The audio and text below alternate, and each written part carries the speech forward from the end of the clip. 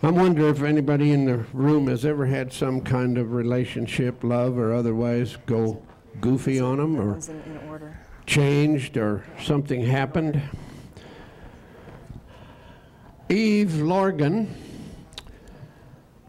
has a book about a very interesting right years of research into this little phenomenon, and it's called the love bite.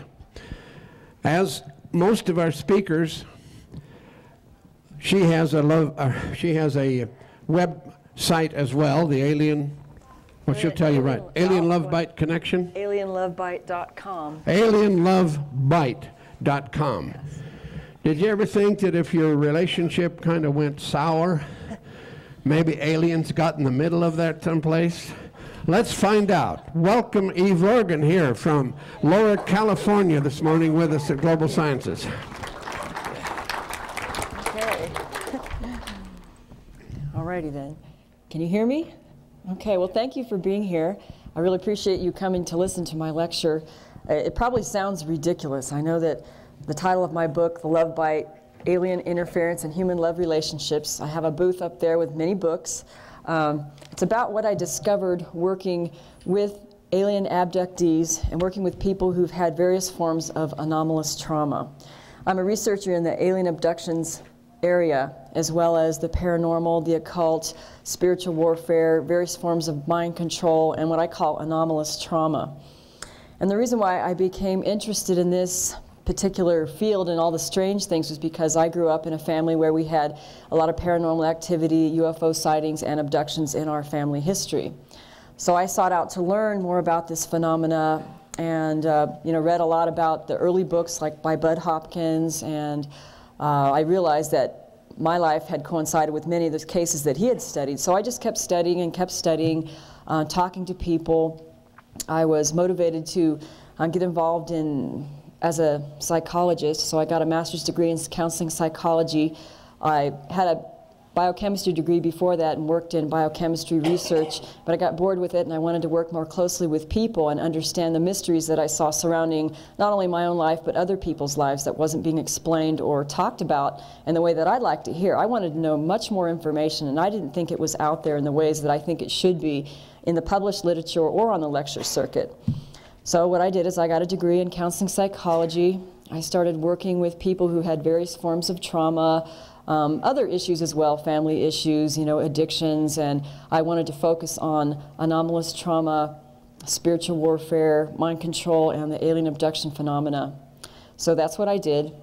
I started a support group uh, sometimes in the late 80s and early 90s. I started working more closely with people individually and also in a support group.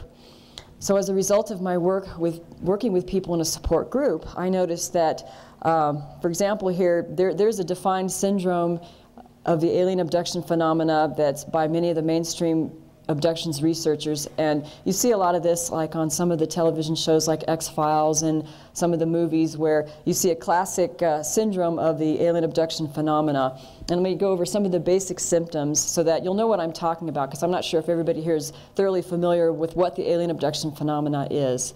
And there's, there's a, it's a continuum because uh, there's people who are having abductions throughout their family and are part of a multi-generational genetic study.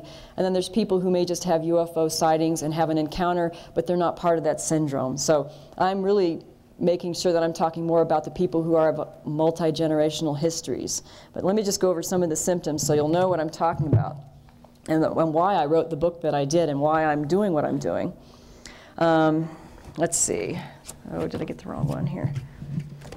UFO sightings is one of the main symptoms here. I don't know if you can hear me. UFO sightings, uh, missing time, usually following a UFO sighting, um, nonsensical screen memories of animals with large black eyes, such as owls, cats, raccoons, deer, many of the above that you see here. Um, seeing balls of light, non-human beings, hooded beings in the room at night, that's common, which may communicate to them telepathically. Sometimes when they enter the room, they, you may have an instant paralysis. Uh, frequent dreams of aliens and or abductions. Um, frequent bloody noses, sinus problems, unexpected needle marks, body marks, bruises, uh, scars, pregnancies, gynecological problems, or pregnancies that disappear anomalously. Uh, extreme interest or dislike of the UFO phenomena, sometimes an obsession with it, or sometimes an extreme resistance to it. Um, and this is what we talked about yesterday. Derrel Sims mentioned the fluorescent spots on the skin, that if you have a UV, handheld UV light, and you scan your body, uh, sometimes you can find fluorescent spots after an abduction, which may indicate the handling of the aliens on the skin, or maybe a medical procedure that was done that had some kind of fluorescent material. And I did do an article on this that I'll, I'll show a little bit more of that later about the fluorescence. It's really fascinating. Um, let's see, flashback memories, dreamlike memories of unaccounted for medical procedures. And sometimes these will happen when you're at the doctor's or dentist office where something's done and all of a sudden you relive, relive like a memory and remember that something happened before but you're not sure where. And these flashback memories will happen sometimes during the day or in dreams, things like that. Uh, unusual phobias of UFOs, uh, aliens, open stretches of road like in the desert at night. You don't want to drive alone at night. Um, spiders, a big phobia of spiders, uh, large black-eyed animals, and lizards and clowns. Uh, sleep disorders is very common. Unexplained health problems uh, like fibromyalgia and, and, just waking up extremely exhausted like you've been hit with a truck and you don't know why. A lot of times that's after an abduction. You'll wake up very exhausted even though you, you should have had a full night's sleep. okay, one of the things that's very common that I find fascinating is the psychic ability and frequent paranormal activity. that is a very large part of the phenomena. Um, and then hearing tones, beeps, flutterings in the ears, and sometimes clicks in the ears. Okay, so these are some of the basics of what I saw with people who've had alien encounters. Um, but what I noticed more often than not working with people was uh, what I felt was resistance, some form of resistance for these people to come forward and share their experiences or go to a therapist or go to a support group or a conference where there was some type of unseen influence in their lives, which I felt was mediated by the aliens who abducted them to prevent them from coming to uh, share their experiences or prevent them from coming to the knowledge of the truth of their experiences. And I noticed this more often than not as being one of these key, uh, very important issues here that prevented people from sharing useful information in the mainstream and in support groups. And this is I've noticed more often than not what I thought was like a form of spiritual warfare, blatant spiritual warfare. And also, I noticed the harassment, um, the government military strange things, the phone problems, the internet, uh, emails being bounced back, intercepted, uh, all kinds of strange things would happen with these people who've had these experiences. Well, I thought, well, this is really important. Why aren't people really talking about this whole uh, it appears to be a warfare strategy aimed at not only abductees, but preventing people from coming to the knowledge of the truth and sharing information uh, about the abduction phenomena. And uh, so, in the course of that, during my support group, not only did I notice elements of spiritual warfare, but uh, serendipitously, actually, it happened that about six people in my support group were all reporting that they'd had these um, terrible obsessive relationships where they believed that the aliens had set them up with a targeted partner. And this would happen in their abductions or would be presented to them in a variety of ways, which I, I will share later.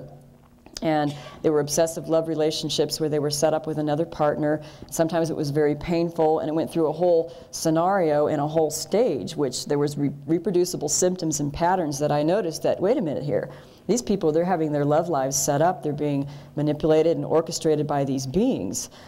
So what I came to find out was that the alien abduction phenomena is, is rigidly defined by many of the researchers in the field and what I found out is it's much more involved and goes much deeper than simple medical experiments or implants or missing time or simple scientific or genetic experiments.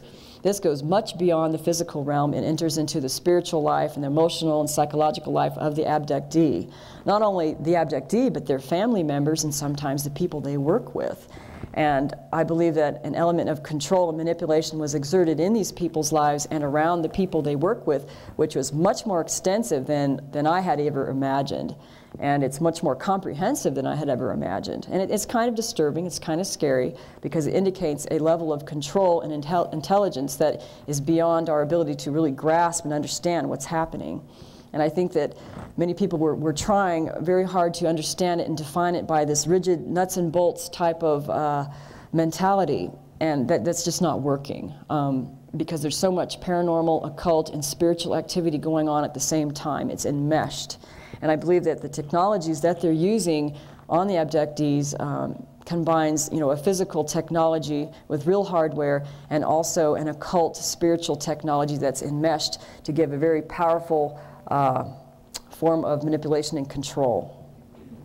So what I'm going to do is I'm going to move on to some of the symptoms that I found in people who are having what I call love bite setups. And what I define that to be is uh, either a relationship was either set up with this abductee or broken up or manipulated in some way by their alien handlers, abductors. And I'm not so sure that they're all aliens that are actually doing this, that there could be an element of humans interacting in the guise of aliens in some kind of uh, military abduction scenario. About a third or more of the people that I worked with and the case histories in my book uh, at least a third of them were my lab abductees. What that is, is uh, has been defined as people who've had classic alien abduction encounters with the, the alien greys or the reptilians or the insectoids or various other species, in addition to humans that they see in their abduction scenarios, sometimes human military or people in lab coats in underground bases where, you know, let's say one abduction, they just remember aliens and some medical procedure or some mind scan or whatever. And then another series of abductions where they see humans working alongside aliens in an underground base, or just the military people, or just the lab coat people who are like these medical personnel doing things to them. So I saw this, this is happening all together within one person's experience, and it wasn't just one thing or another, it was something that was enmeshed. So what I like to caution against is black and white thinking, that it's not all aliens and it's not all military, that there appears to be a connection between the two. And actually, the person who inspired me um, to look more deeply into uh, the phenomena of the human alien military MILAB connection and the reptilian factor was the, the late Dr. Karla Turner. And uh, I'm going to drink water. I don't know if any of you remember her. She was an abductions researcher and uh, who from Texas who had come out in the early 90s with three really good books. And one of the books that she brought out was um, Into the Fringe about her own experiences in her family. Um, she was also an abductee in her family, and also a book called uh, Masquerade of Angels. And that one was an excellent expose on the, the ways that her case study was the guy named Ted Rice, and he was from Arkansas, one of these southern states. And what she realized by working in conjunction with Barbara Bartholic, who was the hypnotherapist, had discovered that in his encounters, he had many, many screen memories that the aliens wanted him to be a light worker and a channeler and a healer and all this wonderful love and light kind of stuff. And what he discovered is that some of these spirit guides that channeled through him were not spirit guides, but they were the aliens who were abducting him all his life. And many of them were reptilians. And so her book describes and exposes the deception and, and deceit and the manipulation that happened in this guy's life um, within the alien abduction syndrome and how it combined with using him as an asset in some way for an agenda. And that, of course, was you know, disturbing material, shocking for people who wanted to believe that, you know, the ETs are here to raise our consciousness and and they didn't want to hear about reptilians, and people didn't want to hear about military abductions and underground bases. And lo and behold, this is what she found, and she was exposing this. Not only in the case of Ted Rice, but many other people, uh, such as the ones in the book called Taken. And in Dr. Karla's book called Taken, she had about five or six abductees who followed the classic pattern of like the MILAB military abductions. And um, she felt this was significant, and I do too, because I'm seeing some of the same thing. And I wanted to bring this out into the light because this is definitely an important part of the phenomena that appeared to be uh, suppressed. And uh, Dr. Karla Turner did die prematurely of cancer and had a series of anomalous events preceding her getting cancer. And I, I question that because I know it sounds conspiratorial, but if you follow the trail of dead researchers and those who are significantly harassed, you will find significant information that would be useful for you to know. And some of this is disturbing, and I'm not here to tell this to you to, to scare you and make it sound like it's some Hollywood horror story, but it's something that needs to be looked at so that we can uh, have a sense of discernment about what's happening that it's not all love and light. They're not all these benevolent ETs here to raise our consciousness, but there is also a dark element here manipulating people, exploiting, I believe, exploiting the human race, especially the abductees, for a particular reason, which I'll go into in more detail in my workshop. But I think that the important thing that I would want to get across is the ability to discern, you know, tr- truly good from evil and how to discern uh, the evil ones masquerading as angels of light or masquerading as beings of light, and how to know what that is so that we can be sure that you know we're in a safe place, that we're not being used as assets for some dark force. And I believe that some people have been used and realized that they were being used. And I've spoken to many people who've felt like that in the beginning they were learning about their abduction experiences. They wanted to get involved with channeling and channel these space beings and get involved in healing and all this wonderful stuff. Then they realized that the information that some of these space beings were giving them was marginalizing the abduction syndrome, distracting them away from getting to the truth of their experiences, and instead of focusing on other things like you know positive healing and this and that. And but it's not that the positive healing stuff was bad in and of itself. Is that these beings were distracting the people from getting to the knowledge of the truth of their experiences and distracting them to go into another direction. And actually, I see that as a form of mind control, and I think that mind control is a very important part of the alien abduction phenomena. Whether or not we want to admit it or not, there is an element of mind control. But before I get too much into that, I want to go into um, some of the basic symptoms that I found with people who've had what I call love bite relationships. So um, let me go into the next transparency here. It's the one. Is it this one? No. This one. Oh, this is the one. Did you just put it in here? Oh, sorry about that. Let's see, is that backwards? yeah. Okay. We may have to. Yeah, well, I'll just read it. There we go. A pointer? Because I just want to make sure you can hear me while I'm doing this at the same time. I can't find it. Spot it for you. Ooh, white on white. Well, See this, uh, you press it, uh, the middle thing there. I'll tell you what I'll do. I don't know. I'll just read it to you and uh, see where we go from here.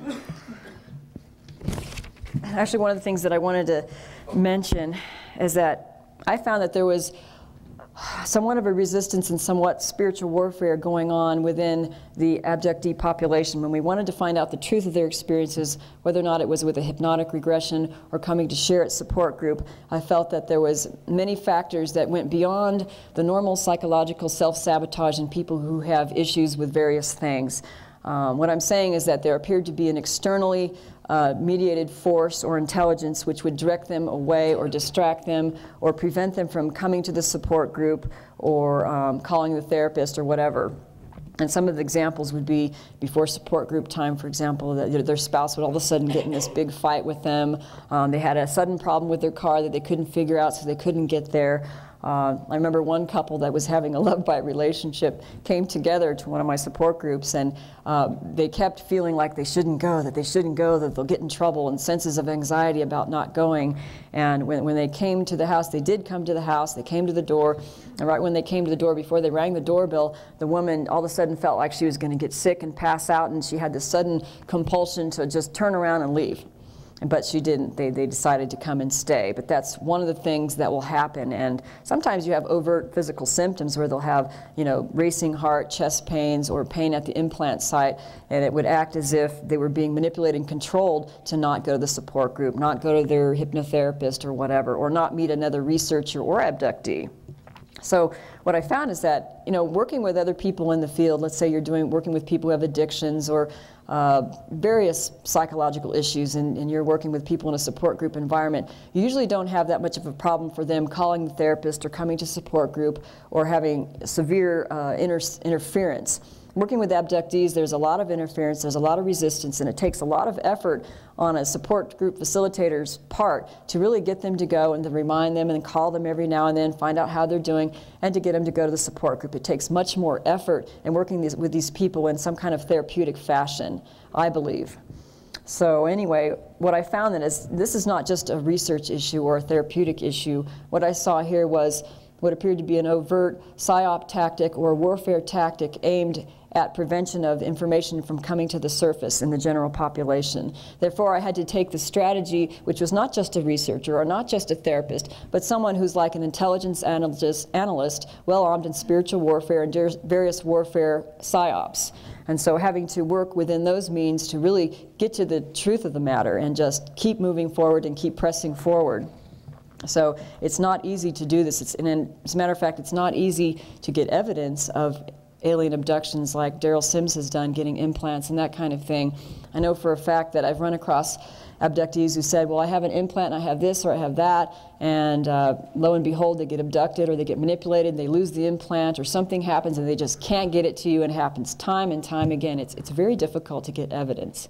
And then once you do get evidence, uh, it's hard to get it tested because sometimes the people, they don't want to pay for it. You can't get research funds, they think you're crazy, or the people lose their jobs. Like one of the uh, scientists that we went to to analyze some uh, material for implants and isotopes, he got fired from his job. And uh, I remember I was working with Derrel the time to bring the samples to him, and he was quite fascinated and came up with this really interesting data. And then later on, he basically was let go and kind of makes you feel guilty that you know you were responsible in some way for someone losing their job but those kinds of things do happen so instead of going towards physical evidence in my own work, I realized that, wait a minute, I think one of the most important issues here is what prevents people from getting evidence, which is the warfare conditions which prevent that from coming to light, which is mind control, spiritual warfare, and those kinds of issues. So in the midst of all this, I, I, discovered the love bite and how these relationships were being manipulated by sometimes very subtle and insidious forces, but nonetheless, the effects were blatantly apparent and were reproducible and ex exhibited a pattern. So what I want to talk about is, is the pattern of what I noticed in a love-bite relationship. Okay.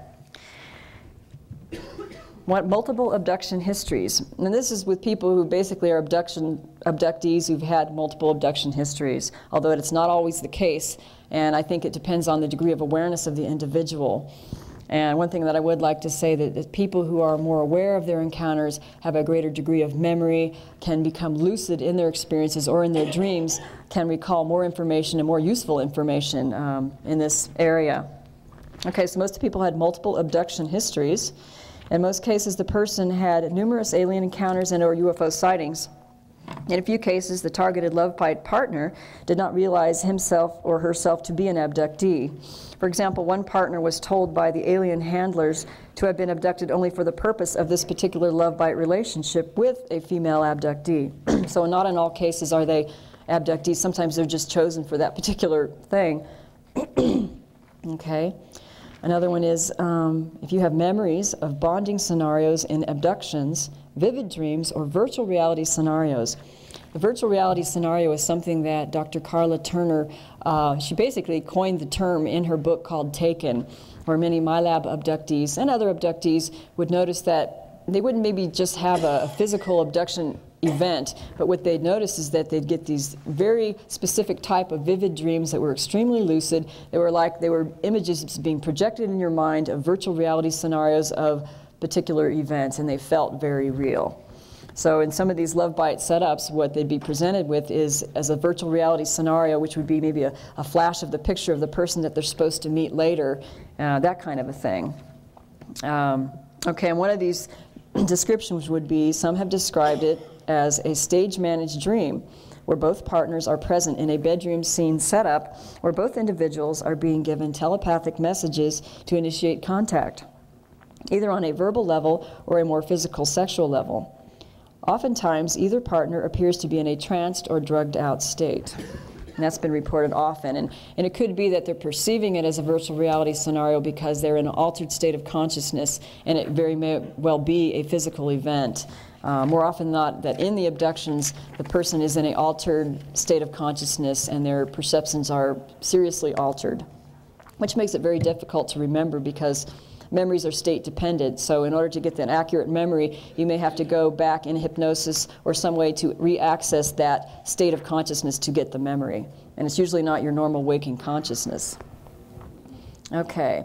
Um, sometimes these stage managed dreams may have the partners in various situations as if they're being tested for their emotional compatibility or they're coerced into thinking that this person would make an ideal mate. And they have been reported that it's like the aliens are watching them for what kind of responses they make to see what would be a perfect partner for them, as if they're studying their emotional responses to different stimuli in this virtual reality dream state. Okay, another one of the major things that I've noticed was supernatural events and synchronicities, uncoincidental coincidences, and psychic flashes concerning the targeted partner. Meeting the person seems to be set up in a supernatural way such that the couple may believe their eventual union to be divinely arranged.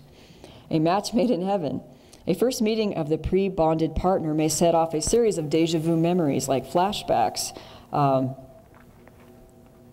and, uh, and it may bring back memories of previous abductions or dreams or dream related bondings. Some have even described it as a, as a body memory of having made love to that person before, or one or more one or both partners may have a strong sense of having known each other before, as if they knew, knew them all their lives, and a very strong soul connection. Another one of the symptoms would be um, it's kind of connected to this. It's paranormal and supernatural phenomena increases during the love bite drama setup. In other words, sometimes psychic events will happen in abductee's lives as part of their normal life, but during the love bite drama, it increases drastically.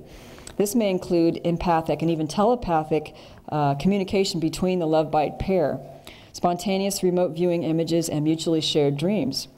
Other oddities may include the physical sensation of the partner's touch or energy field when the other partner is thinking or even fantasizing about them.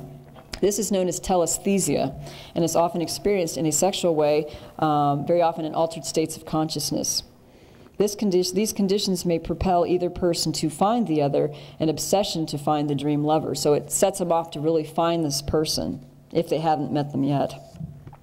Okay, another one of the factors would be strong emotional, mental, and even psychic connections with the bonded partner, such that it sets up the conditions and desire them for them to meet one another. The connection may be so strong that they have described it as a soul immersion in their beloved, or literally having their souls joined to one another. Another byproduct is the amplification of psychic abilities in both or one partner. Some MILAB abductees reported that the reason for the bonding was to amplify their psychic abilities, such as remote viewing, to be later used in secret missions or mind controlled ops. Okay, another phenomena which um, I noticed, and also I might want to add that Barbara Bartholic is a therapist of about 25 years who's worked in alien abductions, and she actually knew about this love obsession phenomena long before I stumbled across it, and I learned much from her and was inspired by Dr. Karla Turner in the case that was in the Ted Rice book, Masquerade of Angels. And actually, I condensed his story and focused on the love bite setup aspect of his story to show the syndrome so that people will be able to look for it. Many people, they'll tell their stories and they may not focus on the love bite aspect, but very often many abductees have had the relationship set up significantly in their life and sometimes more than one. Okay, so a result of this may be love obsession a need for one partner or the other to be with them to the point of becoming infatuated and obsessed. This includes the need to meet the person, even if it's in secret, and having to hear the person's voice on the phone. Sometimes calling the person several times a day, and that has happened to almost the point of stalking, at least one case that I worked with. Just hearing the targeted partner's voice may have a calming effect on the obsessed lover. Extreme anxiety may be felt if the obsessed person cannot hear that person's voice or see them somehow. Okay, um, another one. The obsessed partner usually feels love at first sight and may lose all critical reasoning ability. Some have described as having the compulsion to make sudden life decisions like moving away, uh, changing jobs, getting divorced, or going out of their way to do things for the targeted persons. It has been compared to being under a love spell, wherever the person, the obsessed person, hears the partner's voice. They may go to great lengths to please the person, doing anything for them, even giving up their life for them. Okay, and this, this is the part that's really, really gets you. And I know that Barbara Bartholic talked about this, and uh, it was unbelievable. I thought that, okay, the aliens are setting people up because they want them to be together. And maybe it's a genetic study, and I'm going to go over some of the reasons why I think they're doing this. But one of the syndromes that kept coming up was this switching off. One of the other partners, one or the other partners becomes unplugged emotionally, leaving the other in a state of unrequited love. Usually, the obsessed lover becomes painfully unrequited after the other partner loses interest, often right after an abduction. That's important. It has been described as the psychic and emotional unplugging of the targeted partner. Unfortunately, the obsessed lover still feels this strong psychic and emotional connection, but the other switched off partner feels nothing, leaving the obsessed lover grieving and pining away.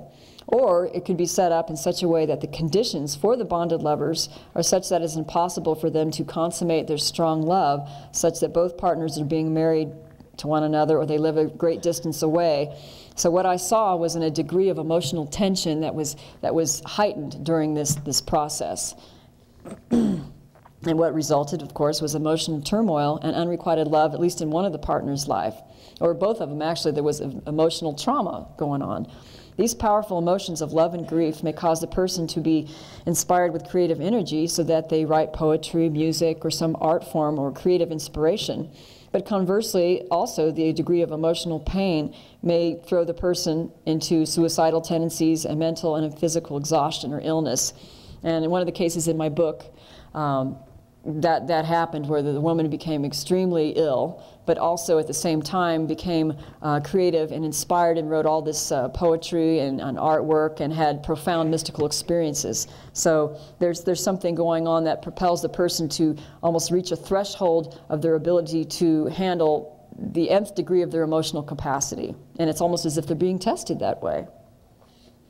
Okay, so profound mystical experiences is one thing that, that was found where um, in one case it was a transcendent case, but that's actually a rare event. I think that um, I know that Dr. Mack talks a lot about uh, the transformative aspect of being in, in, abductions and transforming from your experiences, but more often than not, I, I don't believe that's taking place. I think it takes much, much more um, soul searching and psychological therapeutic work to really get to, to a state of transcendence and um, dealing with your issues. I think that many people are, are mind controlled into believing that the aliens are here to help us or guide us, and that, that may not be the case. I think that we should definitely challenge what they're doing. And when you do challenge them, then you'll find out why when you get all this resistance and warfare. Okay, uh, another aspect was increase in alien encounters during periods of high drama and emotional conflict. The alien encounters may also increase if the person gets involved in alternative sexual lifestyles or increased sexual activity, especially if it's with the targeted love bite partner. Uh, one of the people who's in uh, the book, she had a, a, lot of reptilian encounters, and I think that they were using her for more reason than one, but it did increase her sexual drive, and as if that was increasing her kundalini, trying to activate her kundalini energy as well. Um, and one of the things that we noticed that I may go into in the workshop in more detail is um, the phenomenon of the reptilians, shape-shifting reptilians, and the hosting process, where there was a certain element, a darker element involved in connections with reptilians, where people, let's say, ex, well, drug abusers who are using a lot of crack and methamphetamines into the darker elements, um, you know, a lot of sexual perversions or whatever, that they had a higher degree of reptilian encounters, reptilian sexual activity, and um, abductions. And that's something that Barbara Bartholic has been working with closely and noticing. Okay, some abductees have reported the bonding experience to take place more than once, whereby they have been on both sides of the love bite. Let's say they were obsessed with one particular setup, and then another setup, they weren't really obsessed, but the other person was with them, and they may be set up a series of times. So it's uh, not just one time thing. Um, other things that may happen is that some heterosexuals have been suddenly obsessed with a homosexual where a drastic lifestyle or sexual alternate lifestyle ensues.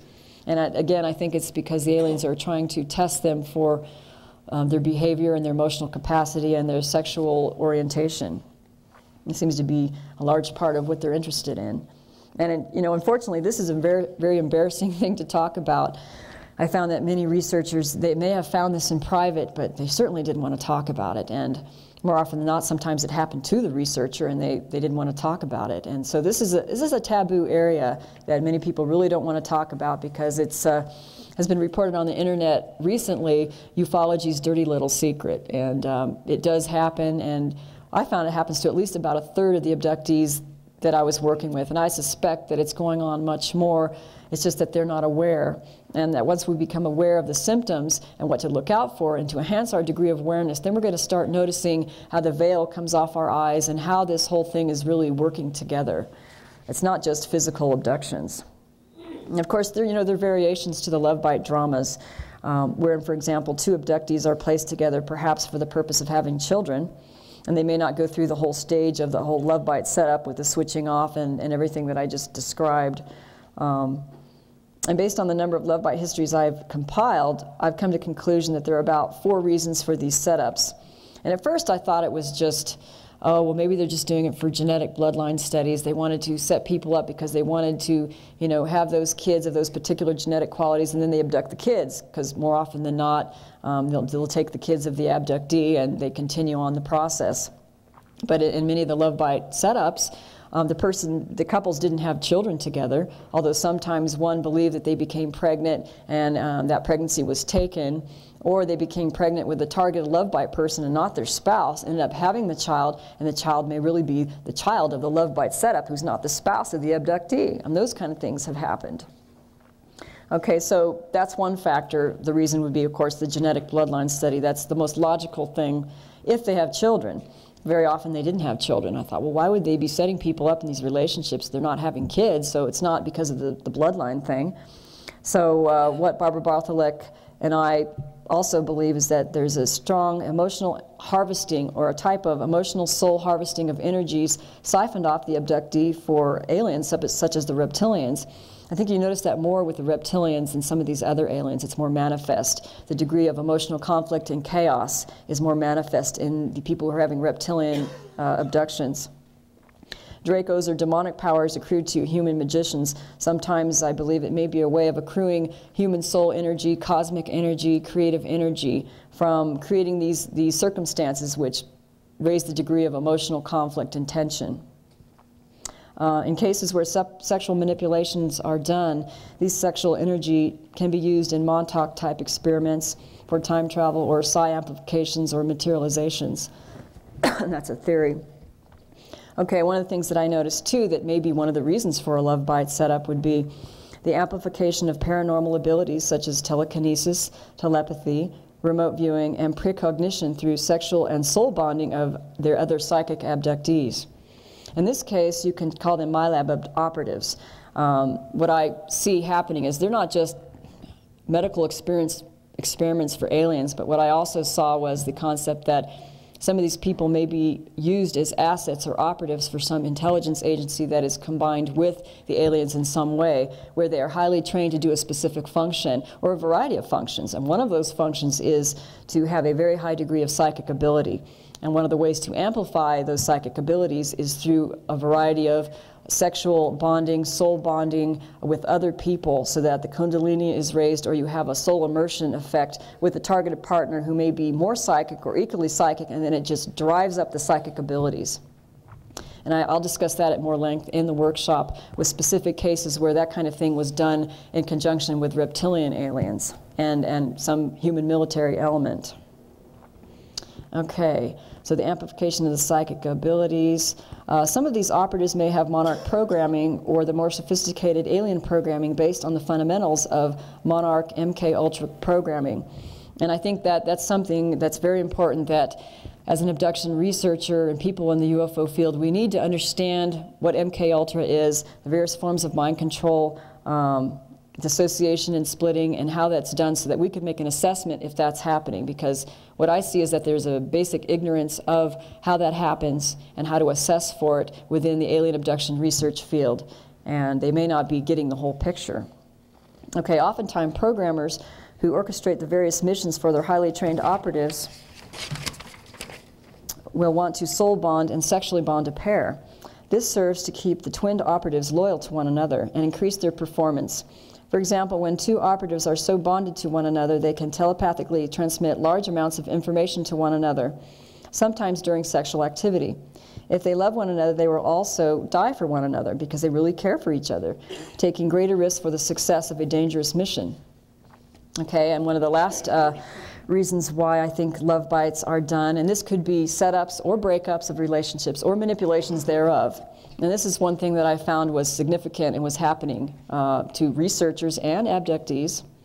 Distraction and neutralization of troublesome abductees or researchers who are either breaking programming, whistleblowing, or getting too close to the truth. Um, I think that Dr. Karla Turner got very, very close to the truth of what she found, and uh, I know that other researchers have experienced this kind of thing. They kept it to themselves. They really didn't want to say too much about it, but I've received several emails and testimonies from people since the publication of my book. That's exactly what happened to them, and now they're really wondering what the hell's going on. Okay, this may present itself as an abductee client that comes to work with a researcher where a love affair ensues. Then the relationship may be an emo emotional roller coaster or create chaos in the researcher's life, distracting him or her from useful research. Or another condition would be a sleeper operative abductee starts coming to a support group, wreaking chaos wherever they go, which may include a love bite setup with one of the members of the support group. It may result in dividing the support group, creating unnecessary enmity between abductees and researchers who could have shared insightful experiences. In these instances, the setup serves to prevent useful information from reaching the public. And as a matter of fact, I put a case history in my book of a I think what I call is a typical example of how support groups are, like let's say a, a sleeper operative is sent in, the person may be an abductee or someone who's had some kind of MK Ultra programming, they go into the support group, they may offer, oh, channeled readings or psychic readings, and they come to the support group to shed this love and light theory, and it comes at just this opportune moment when um, serious information is being shared about what someone found in their hypnotic regression about the screen memories and the reptilian encounters and underground base information or whatever it was, and that person comes at just the right moment when those things are being shared to distract the group. And then uh, in one of my cases, one of these operatives was like a MPD who was doing all these psychic readings and she you know raided the telephone list of the, of the support group facilitator called all the people and basically tried to pull them away from the support group leader distracting you know the, the content of what was going on in the support group process and that's something to watch out for because the distractions happen continuously and i've seen that myself in general, there's great resistance amongst the UFO abductee population to discuss the more negative alien abduction reports. I can personally attest to this when being on various internet list groups or support groups uh, held by the less informed group facilitators. And it, actually it takes trial and error to really get through this stuff to notice how these things are being set in place to distract people from just getting to the truth of their experiences. There's definite warfare going on. Um, and the resistance, of course, is usually regard, regarding reptilian aliens, mind control, sexual assaults, underground, underground base memories, military element, and some of the more negativistic things. And it's not that good ET encounters aren't happening. I think that they are, but they're rare. And the majority of the people that are abductees are probably falling into under the group of aliens that are exploiting them for some reason. And I think they're being exploited for some genetic quality that they have and some of those genetic qualities, I wondered, you know, what is that? So I put together a series of symptoms and characteristics of abductees that I'm going to share in the workshop about, you know, what could be this specific bloodline study and the characteristics and the genes that they're really looking for and exploiting in a subset of the population. Because it's certainly not happening to all people or all abductees, but there are a subset of people that have very unique capabilities that I think that they're exploiting in some way. What I want to do is I want to just show you some of the the transparencies I have before my time is up, just to show you a flavor of the different kind of aliens that people reporting seeing, and just some of the some of the work that I've done. I have a lot more to share in the workshop and a lot more detail to go into also. okay, classic gray alien. I'm sure everybody's seen one of those. In pictures, that is, maybe not in your own life or experience, but that's the, the usual ones that are reported in the abduction syndrome. This is a cute one. Uh, this one, I, I had one of my people in the support group who's an artist, and he's done sketches for us. And one of the women in the support group, whose case history is in my book, has seen a number of um, aliens, some of them reptilian. And some of these reptilians, there's various forms. The ones that she's seen, we call them the baby Godzillas. We, we had to define our own, our own words, our own definitions because of the things that we're seeing. And these ones were about, what, two and a half, three feet tall. Uh, maybe their head's not as fat as that, but um, they actually they came to her, this woman after she was contacted by a researcher in mind control who wanted to investigate her case, and you know thought that oh well it's all mind control, I'm you know all military da da da da, and then the next day these beings come in the daylight when her kids were home, came and visited her and used this this wand thing to. Uh, what do you call it, levitate her up to the ceiling in, in full view of her three kids. And it was almost as if it was a joke to say, ha ha ha, we're real, this is not mind control, look at what we can do. And that's what she reported happening. And um, these things have been reported in a high desert area of California and other areas, probably in Nevada also. That's another baby Godzilla type. It's actually a, um, a teenager, a boy who, who see this, who drew this, and he's a San Diego resident who's seen one of these baby Godzilla types. And sometimes they wear like capes or exotic looking types of clothing. It's strange. this is a funny one. this is really cute looking here. One of the people in my group uh, has had many encounters not only with reptilians but other aliens, and he notices an unusual phenomenon that's been reported by a few people, and it's he saw an interdimensional portal like open up in his bedroom and these reptilians peeking out at him.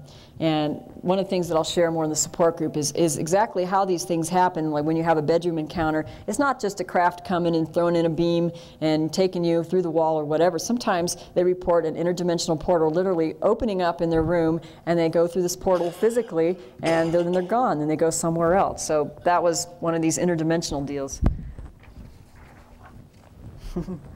Okay, and they see classic gray aliens. A lot of times they wear these uh, robes and hoods. These are the robed ones, and this is just a demonstration of how they would be, you know, setting up two targeted partners to have sex and have some kind of connection and observing the activity and putting the telepathic messages in their mind. It's just demonstrating what they were doing. Oh, I don't want to trip on that. I'm just trying not to. Okay, here's another one. Um, the dark robed ones. There's also dark robed alien grays. Sometimes they wear these medallions. That's what some people have reported.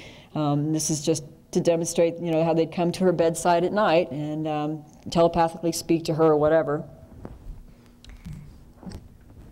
Okay, and one of our people tried to do a sketch of a reptilian. Actually, it's almost a reptilian human hybrid uh, that he thought and um, that's what it looked like. They have the slit eyes, kind of the snaky looking eyes, scales. Sometimes they have a tail and they have claws. Sometimes it's a four claws, claws on their toes.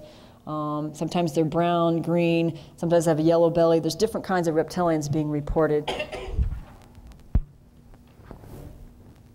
And this is another kind of being that somebody reported it appeared to have a type of mask or helmet that it looked like a, a warrior, a reptilian warrior uh, alien. Okay. And these are just some of the different kinds of beings that this person had seen. You see the classic gray, the small ones. Uh, the blue gray, actually, I've seen one of the blue grays before in my experience, and they're a little more spindly. Um, the reptilian Draco, sometimes they have wings, um, the snake like eyes. Um, they're very tall, usually about seven feet tall, very heavy. Sometimes they wear a breastplate and have warrior type of look to them. Sometimes they wear robes with jewels on them that look like ancient Egyptian gods sometimes. And um, then the other ones, the cloaked ones that are, I think they're dark black or blue with big lips and they have the hoods. I know that Whitley Strieber had reported this type of being also. They're, they're short and they're small. Oh, the one over here, um, this is an interesting one. I've talked to about five people who've seen this type of being. It's like an interdimensional being, and we, we just called them we just made up a name for them because they look kind of like vampires or the voodoo people we call them they wear sometimes they wear robes and medallions and have spiky hair and they look they pretty evil looking with very high cheekbones very gaunt cheeks. Um, and i met a person actually another abductee who had seen these beings where these elder good guy ETs were showing her how to do spiritual warfare against some of these demonic type of creatures. And it's very interesting because my son has seen some of the same kinds of beings. And so they're, they're a type of interdimensional being. And then the other one is kind of like a Nordic, a female Nordic that, that they've seen, just a typical human looking person. And there's many varieties of beings that people see, like the praying mantis types and the Wookiee types. I mean, there's many different kinds of beings that are seen. So they're not just one kind of alien. And uh, how much more do I got there? Okay, oh, this is just to demonstrate uh, how in some of the cases Um, the aliens, it's as if they were injected imagery into the abductee's mind. They would get spontaneous remote viewing images in their mind of various things. Sometimes it's, you know, apocalyptic disasters or whatever, but in the love bite thing, Actually, what happened is they showed the abductee a scenario of his ex-girlfriend, who was like a love bite setup, who was in love with, you know, having sex with someone else, and incited him to feelings of rage and jealousy. And it was as if the aliens were trying to uh, elicit these kinds of emotional responses by injecting this imagery in his mind. Okay. And this is the Boudica being that was seen by many of the people in my group. And um, they're more like an interdimensional being, and they're, they're kind of tall. And I think, let's see, I could just show you what I'm going to talk about. Well, I don't have much time left. Um, you can go ahead and show that. Yeah. Is that? And this is just a list of the different symptoms that I collected together. I, I collated data on about 22 abductees and tried to do a series of stats on things that I felt were significant and important based on symptoms reported by abductees that may be different from people in the regular population. I'll go over that in more detail in the workshop just to show you that there are symptoms, there are things that I think may be genetic factors, things that are psychological factors that could be of key importance. One of the things that I thought was important that I just picked off the bat was the incidence of near-death experiences in these people's lives was much more than the average of people who've experienced near-death experiences, and it's a neither genetic or after effect of abductions. It just happened to be something that I thought was significant. So I'm going to go over that in more detail. Um, you're just going to have to ask questions in the uh, workshop because I don't know if I have time now. Um, some people think they were matched together by divine forces and it didn't have anything to do with alien manipulation. Uh, that could be, and it could be a past life connection that some people believe they have. But um, you know, if you're an abductee with a multiple abduction histories and you sense manipulation, it could be that you're being manipulated or set up in some way, and it's, important to assess for that so you don't blindly believe anything that your spirit guides or aliens or whatever are telling you. Um, and last but not least, I think that um, true love will not try to control and manipulate. True love will support freedom from the bonds of ignorance and encourage individual sovereignty. It will also expose the darkness and not sweep it under the rug. Uh, true love will empower the individual and work in unselfish ways to promote freedom for others. Most importantly, true love is discerning, confident, unselfish, humble, persevering, and deeply compassionate for the suffering of others. The greater our awareness of what, we, of what is truly happening in today's sophisticated world, the better we are able to regain control over our destinies. At first, we will become disturbed. But if our true love, or if our love for the truth, outweighs our arrogance and ignorance, then we can have a chance for true love and freedom. And so I just like to close with that, that true love is much more discerning and exposing the darkness is not a bad thing and is not negative, that we need to have discernment. And that's one thing that I want to bring out more than anything else. Let's discern, let's assess for some of these other things before assuming that it's some benevolent ET here to guide us into some spiritual utopia. And that's it.